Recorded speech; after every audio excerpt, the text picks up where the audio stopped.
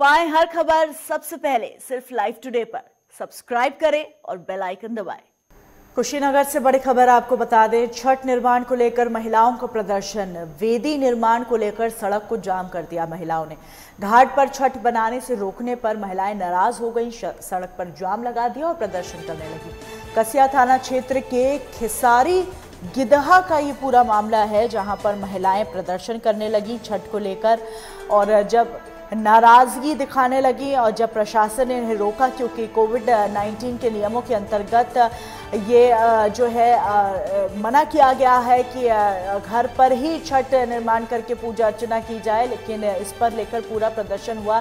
प्रदीप हमारे सहयोगी phone line पर मौजूद हैं। प्रदीप जिस तरीके से महिलाएँ प्रदर्शन कर रही हैं कुशीनगर में छठ निर्माण को लेकर, क्या कुछ अपडेट है?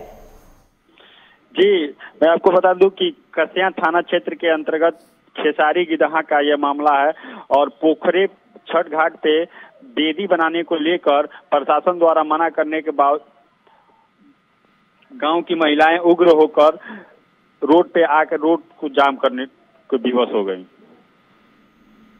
अब इस पूरे मामले में प्रशासन द्वारा क्या किया गया है? क्या महिलाओं को छठ बनाने की इजाज़त दे दी या उन्हें समझा बुझाने में प्रशासन कामयाब रहा? नहीं अभी ये बैठक चल रहा है। अभी गाँव ग्रामीण लोग गाँव के लोगों को ज्वाइंट मजिस्ट्रेट पहुंचकर समझाने और बुझाने का प्रयास कर रहे हैं। अभी मामला सुलझा नहीं है। चल रहा है। तमाम जानकारियों के लिए शुक्रिया आपका।